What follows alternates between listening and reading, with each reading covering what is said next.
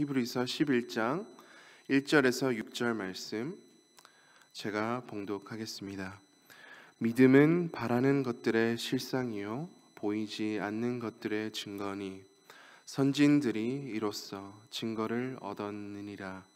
믿음으로 모든 세계가 하나님의 말씀으로 지어진 줄을 우리가 아나니 보이는 것은 나타난 것으로 말미암아 된 것이 아니니라. 믿음으로 아벨은 가인보다 더 나은 제사를 하나님께 드림으로 의로운 자라 하시는 증거를 얻었으니 하나님이 그 예물에 대하여 증언하심이라. 그가 죽었으나 그 믿음으로써 지금도 말하느니라. 믿음으로 에녹은 죽음을 보지 않고 옮겨졌으니 하나님이 그를 옮기심으로 다시 보이지 아니하였느니라 그는 옮겨지기 전에 하나님을 기쁘시게 하는 자라 하는 증거를 받았느니라.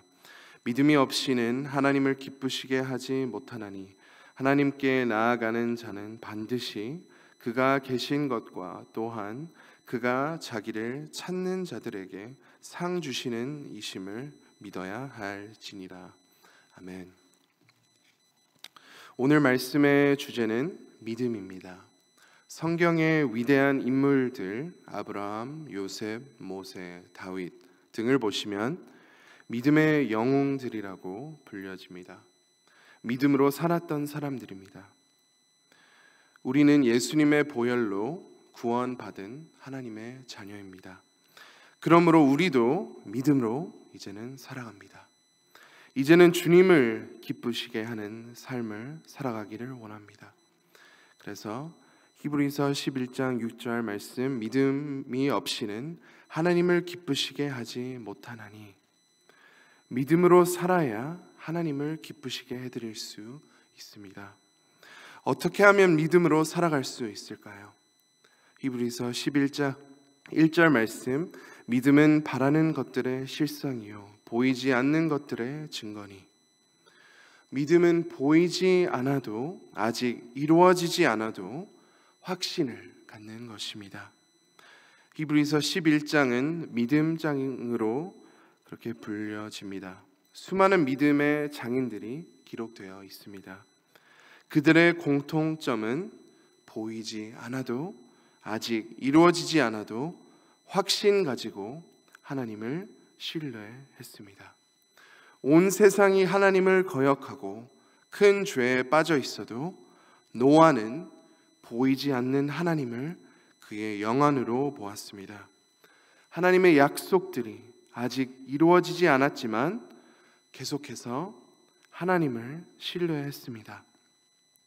노아의 믿음의 순종을 통하여 결국엔 노아와 그의 가족은 구원을 얻었습니다. 믿음의 짱을 보시면 믿음은 결국엔 선택입니다. 지금 눈앞에 보이는 좋고 나쁜 것들을 선택하느냐? 보이지 않는 크고 놀라운 축복을 선택하느냐? 노아가 방주를 지었을 때 사람들은 그를 조롱했습니다. 보이지 않는 하나님을 왜 따르냐? 지금 눈으로 보이는 것들을 즐겨야지. 믿음은 순종입니다. 신실하신 하나님의 말씀을 순종할 때 하나님을 기쁘시게 해드릴 수 있습니다. 믿음으로 산다는 것은 세상이 좋다고 여기는 것들을 버리고 더 놀라운 것들을 바라는 것입니다. 모세의 삶도 마찬가지입니다. 모세는 세상적으로 정말 풍요로운 삶을 살아갈 수 있었습니다. 애굽 왕자로 살아가며 눈으로 보이는 세상적인 쾌락을 마음껏 누릴 수 있었습니다. 하지만 모세는 어떠한 선택을 했을까요? 25절 말씀을 보겠습니다. 도리어 하나님의 백성과 함께 고난 받기를 잠시 죄악의 낙을 누리는 것보다 더 좋아하고 모세는 선택했습니다. 지금 더 좋아 보이는 잠시 죄악의 낙을 누리는 것보다 하나님의 백성과 함께 고난 받기를 좋아했습니다.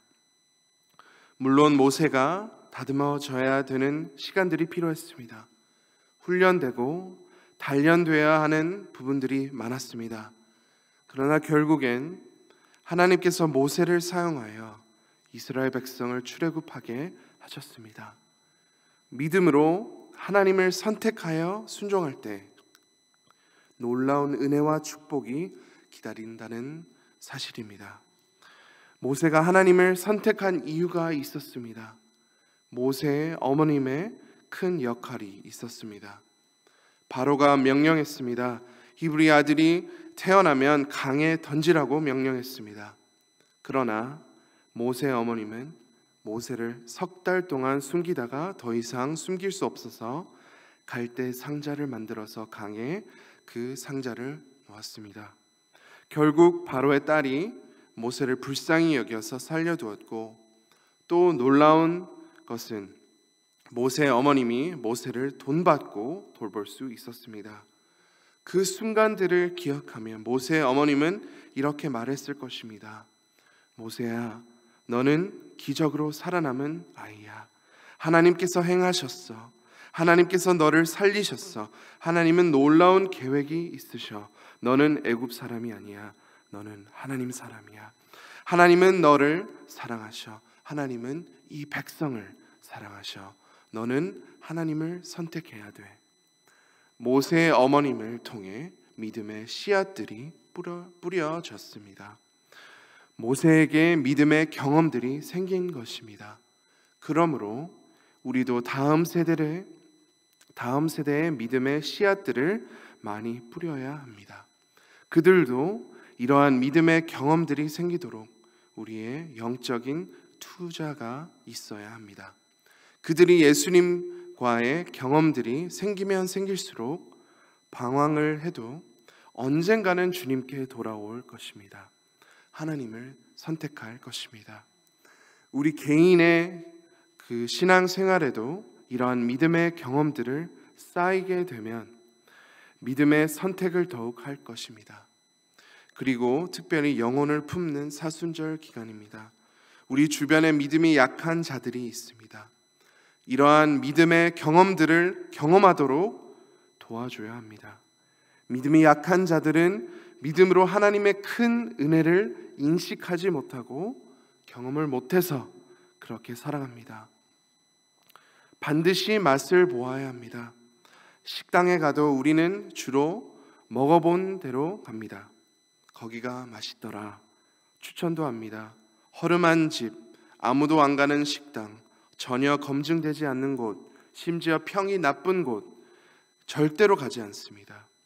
세상은 우리를 통해 하나님의 사랑을 맛보아야 합니다. 하나님의 사랑을 맛보면 하나님을 더욱 믿을 것입니다. 구경 모임을 통해 믿음이 생길 수 있습니다. 새벽 예배나 수요 예배, 주의 예배가 될 수 있습니다. 작은 사랑의 섬김일 수 있습니다. 하나님께서 우리를 통해 어떠한 역사를 이루실지 모릅니다. 참 쉬운 원리입니다.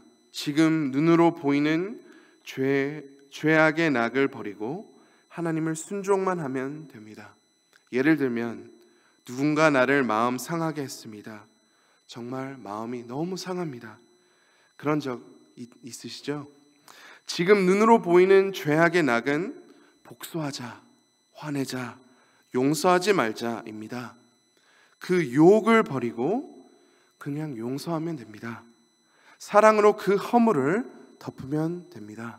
마음이 상하지만 어떻게든 용서하고 사랑하면 됩니다. 그러나 이게 문제입니다. 말은 쉽습니다. 실천할 수 없습니다. 죄를 선택해야 속 시원할 것 같습니다.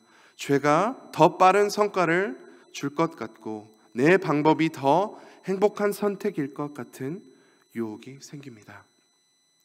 그렇다면 우리는 어떻게 하면 눈으로 보이는 유혹들을 뿌리치고 하나님을 순종할 수 있을까요? 믿음의 대상에 달려 있습니다. 세상은 마음만 먹으면 할 수 있다고 말합니다. 나이키의 슬로건을 보십시오. Just do it. 그냥 하세요. 그냥 해. 할 수 있어. 너는 마음만 먹으면 할 수 있어. 아디다스의 슬로건을 보십시오. Impossible is nothing. 불가능은 없다. 너는 할 수 있어. 세상은 이렇게 말합니다. Believe in yourself. 너 자신을 믿으라. 이 모든 것들을 보시면 믿음의 대상은 나입니다. 나 자신입니다. 예수 믿는다는 것은 우리의 믿음의 대상이 바뀌었다는 것입니다. 더 이상 나 자신이 아닙니다. 허물투성인, 실수투성인, 불순종투성인 내가 더 이상 믿음의 대상이 아닙니다. 예수님이 우리의 믿음의 대상이십니다. 우리는 하나님을 바라봅니다. 하나님께서 순종할 힘을 공급해 주십니다. 약속의 말씀을 붙잡습니다. 성령님을 의지합니다. 기도로 하나님께 매달립니다. 이 모든 믿음의 영들의 공통점이 이것입니다. 하나님께서 그들의 믿음의 대상이셨습니다. 오늘도 주님을 섬기면서 사랑하시면서 주님만이 우리의 믿음의 대상이 되시는 사랑하는 모든 성도님들이 되시기를 간절히 소망합니다. 이 시간 말씀을 붙잡고 함께 기도하겠습니다. 하나님이 우리의 믿음의 대상임을 믿고 그분만을 바라보기를 원합니다. 눈앞에 보이는 죄악의 낙을 버리고 주님을 선택하도록 우리가 기도하겠습니다. 특별히 부활 주일에 한 영혼을 품고 주님께 인도할 수 있도록 함께 기도하겠습니다. 대한민국을 위해 기도합니다. 하나님을 기쁘시게 하는 믿음의 나라로 거듭나게 하옵소서. 마지막으로 우크라이나를 위해 기도하겠습니다. 그 땅에 속히 평화를 이루어 주옵소서. 하나님의 놀라운 뜻을 이루어 주옵소서. 함께 기도하겠습니다. 주여 한번 외치고 함께 기도하시겠습니다. 주여!